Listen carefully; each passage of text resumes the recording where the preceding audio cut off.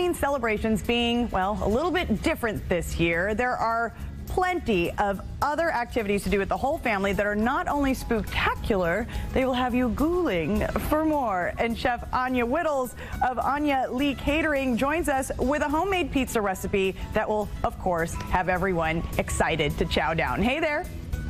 Hi there. How are you? Good. Okay, so tell us a little bit about this Halloween themed recipe. Pizza is really fun because there's so much you can do with it. You can shape it in all different shapes and sizes. You can put fun toppings on it in different ways. So here we're, we're making a pumpkin pizza, but keep in mind that with Halloween, you can cut your um, your meat and your cheese into a lot of different forms. You can do a giant spider. You can do a pumpkin face like I am. You can have fun with your kids and and have them be creative with it. So here I'm just uh, forming this almond um, almond flour crust, gluten free actually, into a pumpkin shape with a little um, spout on top. There we go. So we've got that stem on top, and then we're taking uh, some some pumpkin um, tomato sauce. So I mixed pumpkin with tomato sauce just from the can, mix it all together. Add some spices. We're uh, you know, maybe some cinnamon, some nutmeg, and then maybe some pizza spices, some oregano, some garlic powder. So we spread that on.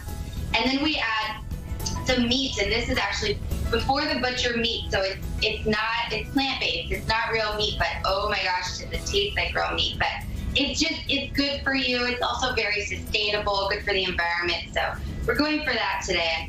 And I'm gonna put some big eyes on this pumpkin with my meat.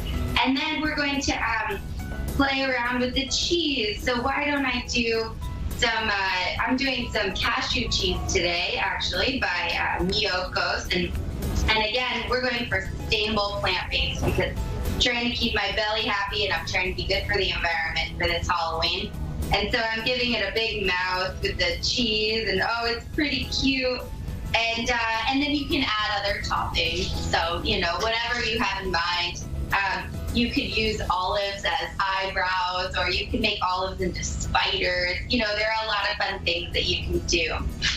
And so that and pizza so that dough, pizza is that almond based?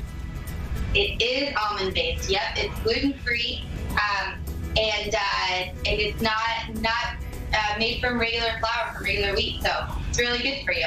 So we have this beautiful one back here. So this one I use, it's kind of hard to see, but I've got the cheese as the eyes and the mouth. And uh, we're just gonna serve this up here on this plate. We've got this compostable plate um, by World Centric. And so we're just getting that all set up. And I'm gonna dig in for breakfast because it's it's early over here in California, but excited to eat it. All right, Chef Anja Lee, tell folks where they can find you. Um, we're actually, we've pivoted to Anja Lee and Company now, and we're at anjalee.co, A-N-J-A-L-E-E.co. Oh, fantastic. Well, thank you so much, Chef Anja Lee Whittles, and we thank you so much for your time, and stay safe. Thank you. Thank you. Thanks